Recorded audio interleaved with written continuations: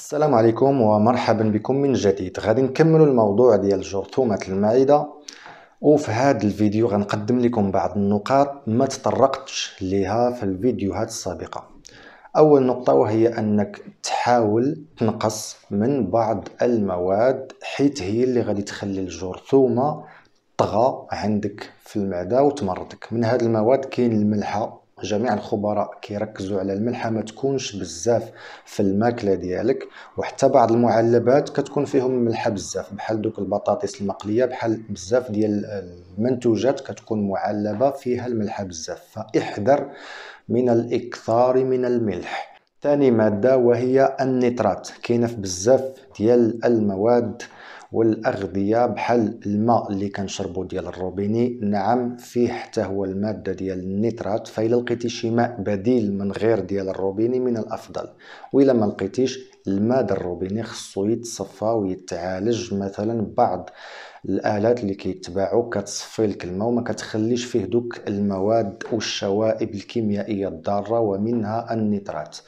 وكاينين حتى في المحاصيل الزراعية ما يمكنش نتجنبوا الخضرة والديسير والمأكولات اللي كتعطينا الأرض. واللي كتكون مليئة بالنترات بسبب المبيدات الحشرية والعشبية اللي كيستعملوا المزارعين والفلاحة. فهاد المنتوجات كناكلوهم يوميا في حياتنا ما نقدروش نتجنبوهم. من الأفضل أنك ترقدهم في ماء فيه الخل الأبيض أو لا فيه بيكربونات الصودا باش يمتص واحد النسبة من دوك المواد الكيميائية والمبيدات الحشرية ومنها النترات. باش ما تكونش بالتركيز عالي في داك الأكل اللي كتاكل حيت مادة النترات ما صلحاش للمعدة ديالك.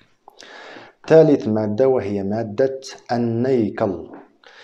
جوج مواد كتستعملهم جرثومة المعدة باش طغى عندك بزاف وتمرض لك المعدة ديالك.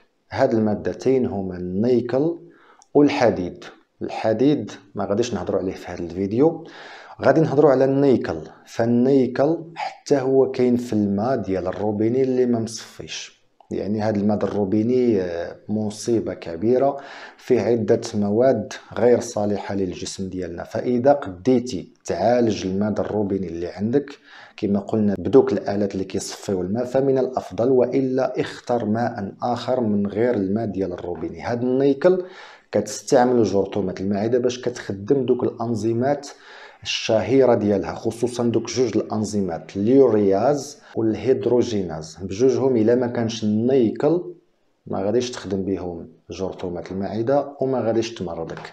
فالنيكل بحال ليسانس ديال جرثومة المعدة. كل ما نقصتي منه كل ما كان أفضل ليك. كاين في الماء غير المصفى كما قلنا وكاين في بعض المنتوجات الأخرى بحال اللوز وبحال الطون والمواد المعلبة يعني الأغذية المعلبة. الطون براسو كيكون في ديك الطاسة المعلبة. فمن الأفضل تبعد على الطون خصوصا إلا كنتي مريض بجرثومة المعدة. أما الناس اللي ما مرضينش بجرثومة المعدة فهذه نصيحة عامة. بغيتي تبعد منه فأفضل لك. وإلا ما بغيتيش فما كيعنيش أنك إلا كليتي الطون غادي تمرض بجرثومه المعدة ولكن نصيحة احتياطية الطون المعلب فيه مادة النيكل وحتى الأغذية المعلبة الأخرى خصوصا في دوك العلب ديال القصدير يعني ماشي ديال الدجاج بحال آه، بعض الأنواع ديال الذرة بحال الجلبانه كنلقاوها حتى هي معلبة في دوك الطاسات بحال المطيشه معلبة في ديك الطاسة ديال القصدير فمن الأفضل تتجنب هاد العلب اللي كتكون مصنوعة من دوك المعادن الضارة. وإلا لقيتي التعليب آه، بالزجاج يعني بحال مثلا المطيشة اللي كتكون في القرعة الزاج فهي أفضل وما فيهاش ديك المادة ديال النيكل بكثرة. الماء ديال الروبيني باش تجنب داك التركيز ديال المواد الكيماوية اللي كيكونوا فيه بزاف منها النيترات والنيكل وغيرها.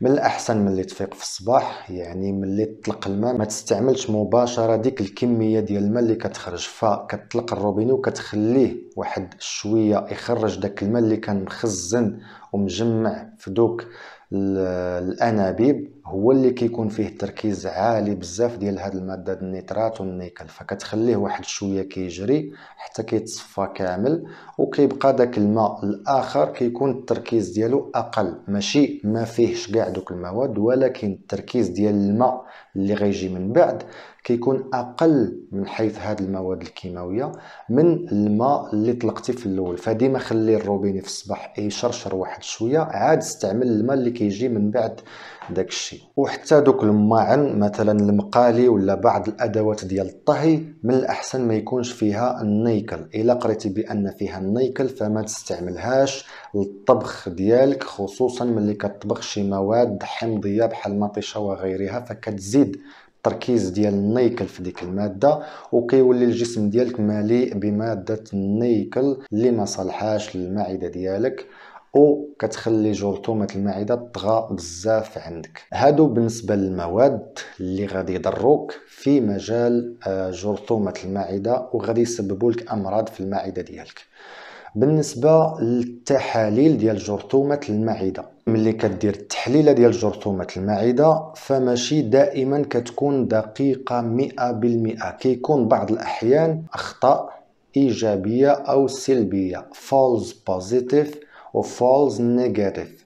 فالأخطاء الإيجابية وهي انك كدير تحليله وكتلقى بأنها إيجابية.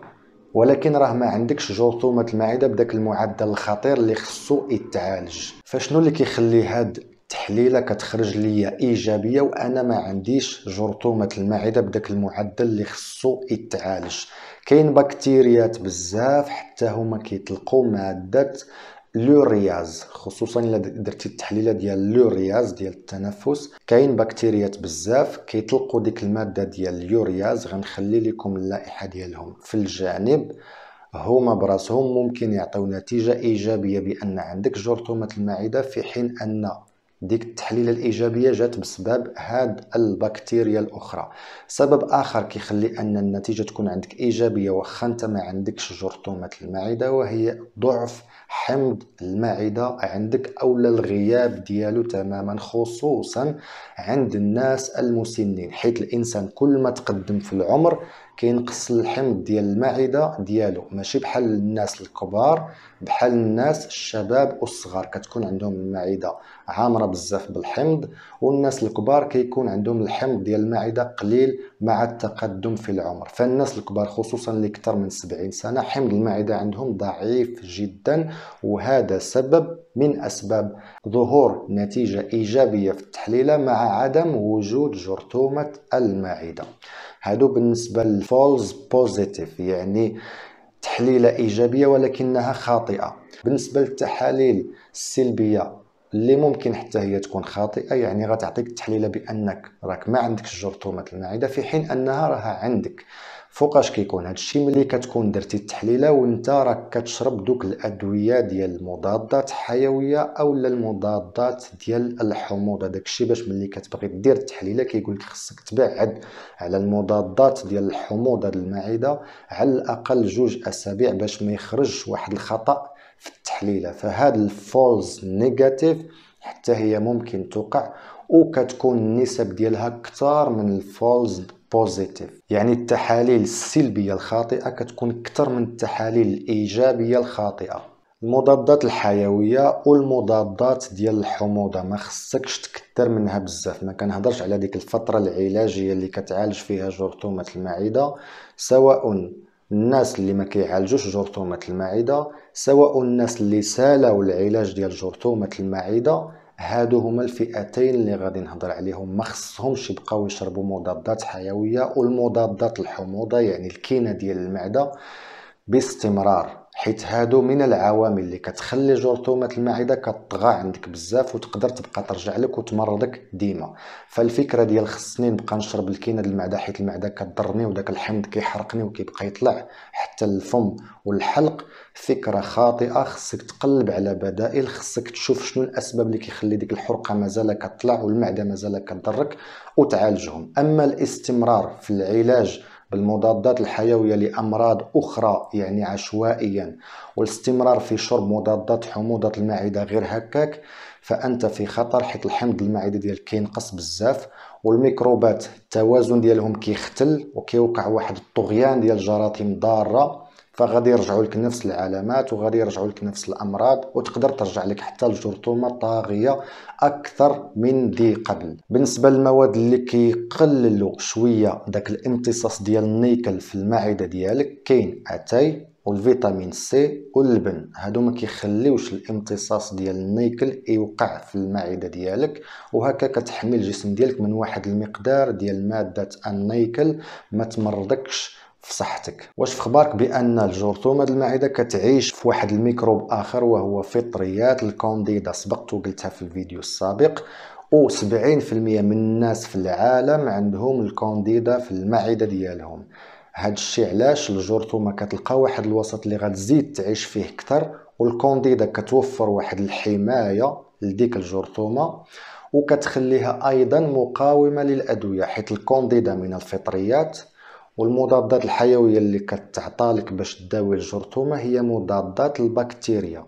فالمضادات الحيوية كتقلب على البكتيريا وكتقتلها. ملي كتلقى الكونديدا ما كدير ليها والو حيت الكونديدا واحد النوع من الفطريات ما كيقروش فيه مضادات الحيوية. وهاد الكونديدا كتكون مخبعه الوسط ديالها جرثومه المعدة. يعني غادي يجيو الأدوية غيقلبوا على الجرثومه ما غيلقاوهاش. كيلقاو الكونديدا ما كيديروا ليها والو. في حين أن الكونديدا خصوصا إلا كانت طاغية عندك بزاف كتخلي ديما ديك الجرثومه كثيره عندك بزاف كتحميها من الوسط ديال المعدة اللي يقدر يقتلها وكتحميها حتى من المضادات الحيوية اللي كتشرب باش تداوي راسك. منها. اذا مع الاهتمام ديالك بهذا الطغيان ديال جرثومه المعده اللي كتمرضك خصك تهتم أيضا بالطغيان ديال الكونديدا اللي حتى هي ممكن تسبب لك أمراض كثيرة في الجسم ديالك. واش في خبارك بأن القرحة ديال المعدة 50% من جرثومة المعدة. نعم و 25% من مضادات الالتهاب.